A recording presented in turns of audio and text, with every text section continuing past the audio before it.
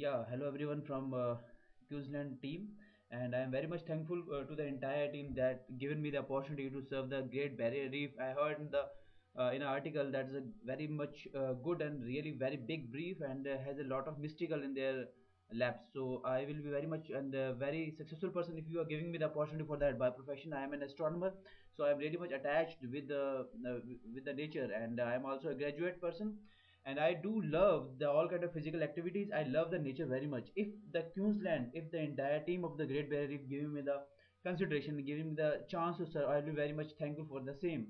And that will be the better job for me. And there's no professional barrier in that. If any kind of mental, mental and physical challenge is required for this particular job, I'll be ready for that. And I very much sorry for the disaster came yesterday in Australia. And uh, I really want to serve in this particular brief, uh, brief if you are giving me the time. Thanks a lot.